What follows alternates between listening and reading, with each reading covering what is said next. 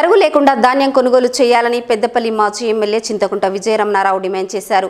స్థానిక MLA rice మిల్లర్లు కుమ్మక్కై క్వింటాల్కి పది కిలోల వరిధాన్యం దోచుకుంటున్నారని ఆరోపించారు. పెద్దపల్లి మండలం కొత్తపల్లి గ్రామంలో ఏర్పాటు చేసిన వరిధాన్యం కొనుగోలు కేంద్రాన్ని పెద్దపల్లి మాజీ ఎమ్మెల్యే టీపీసీసీ ఉపాధ్యక్షులు చింతకుంట విజయరమణారావు గురువారం సందర్శించారు. రైతులతో మాట్లాడి సమస్యలు తెలుసుకున్నారు.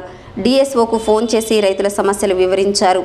ఈ సందర్భంగా ఆయన మాట్లాడుతూ రైతులు కష్టపడి పండించిన వరిధాన్యం అమ్ముకోవడానికి కొత్తపల్లి ధాన్యం కొనుగోలు కేంద్రానికి తీసుకొచ్చి ముప్పై రోజులు గడిచినప్పటికీ ధాన్యం కొనుగోలు చేయడం లేదన్నారు. ఒక బస్తాకు నలభై రెండు నలభై మూడు కిలోలు తూకం వేస్తూ రైతులను దోపిడీ చేస్తున్నారని అన్నారు. రైస్ మిల్లుల వద్ద రెండు నుండి ఐదు కిలోల వరకు తరుగు ఇస్తున్నారని తెలిపారు. తద్వారా ఒక రైతు క్వింటాలకు ఏడు కిలోల నుండి పది కిలోల వరకు నష్టపోతున్నారని అన్నారు. ప్రభుత్వం మరియు స్థానిక ఎమ్మెల్యే రైస్ మిల్లర్లతో కుమ్మక్కై రైతులను దోపిడీ చేస్తున్నారని మండిపడ్డారు. తరుగు లేకుండా ధాన్యం కొనుగోలు చేయాలని ఆయన డిమాండ్ చేశారు. లేని పక్షంలో రైతులతో కలిసి కాంగ్రెస్ పార్టీ ఆధ్వర్యంలో ఆందోళన కార్యక్రమాలు నిర్వహిస్తామని హెచ్చరించారు. ఈ కార్యక్రమంలో రైతులు కాంగ్రెస్ పార్టీ నాయకులు కార్యకర్తలు తదితరులు పాల్గొన్నారు. ఎనభై లారీల వరకు మరి వడ్లు అయితే అని చెప్పి చెప్తా ఉన్నారు. అంటే ఇప్పటికీ ఒక ముప్పై ముప్పై లారీలే మరి ఇక్కడి నుంచి కొన్ని ట్రాక్టర్లు అవి కలుపుకుంటే దాదాపు ఫిఫ్టీ పర్సెంట్ మరి ప్యాడీ ప్రొక్యూర్మెంట్ జరిగింది.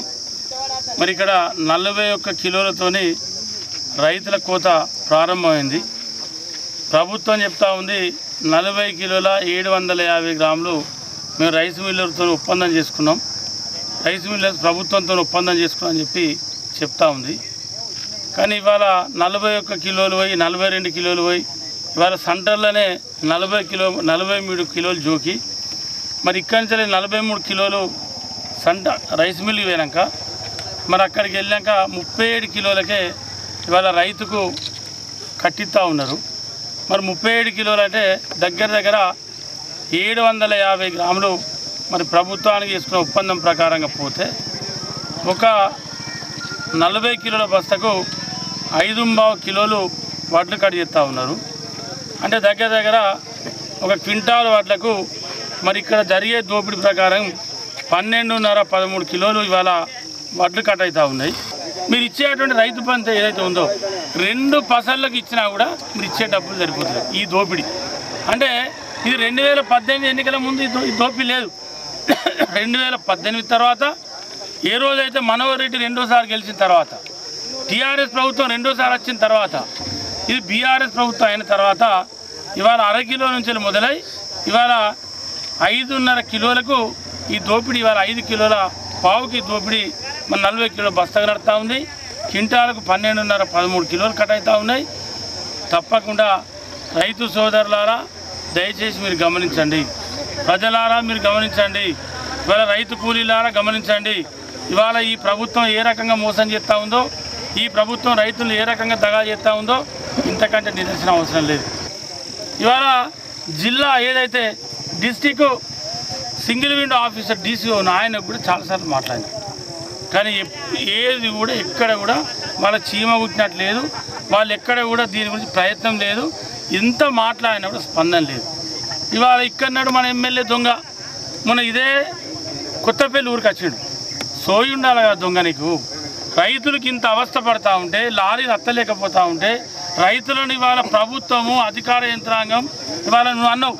ఏమన్నా అంటే విజయరమణారావు అన్న కోటి రూపాయలు దొంగ తీసుకున్న దొంగ నువ్వు కోటి రూపాయలు. అంటారు రైస్ మిల్లు మొత్తం కలిసి దొత్తారు మామూలు దోపకం కాదు. గతంలో ఎన్నడూ కూడా ఈ దుస్థితి లేదు.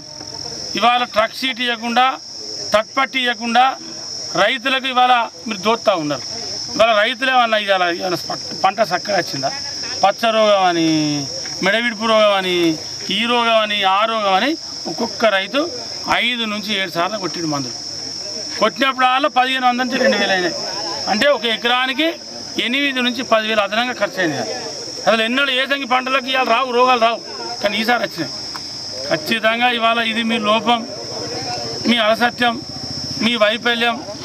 ఖచ్చితంగా రైతులకు మీరు మూ- రైతులకు మూల్యం చెప్పి చెల్లించుకోక తప్పది. రైతులతో పెట్టుకున్నాడు ఎవ్వరు బతికి పట్టగట్టలే నాకు నాకు తెలిసిన ముప్పై ఏళ్ళలో. దానికన్నా ముందు చిన్నపిల్లలు అప్పుడు ఉంటాను ఇవాళ చూస్తాను ఎంత టోన్ కథం చెప్తారు. ఇవాళ ఏం మాట్లాడతలేరు. నేను పోతే నమస్తే పెడతాను నిలబడతాను అనుకుంటున్నాను కానీ మాట్లాడతలే అంటేనే ఎక్కడ పోయినా నేను ఏం అంటలేదు అంటేనే నీకు మూడిందని లెక్క. నీకు మూడింది నేను ఏం అంటలేరు అంటే నీకు మూడింది. ఏమున్నది ఇంకో నాలుగు నెలలు ఆరు నెలలు అయితే దానికి నేను అడుగుడు ఎందుకు తీ? ఈ దొంగ అయినా దొంగ అని తెలిసి ఏమడుతుంది అనే కాడికి ఉన్నది.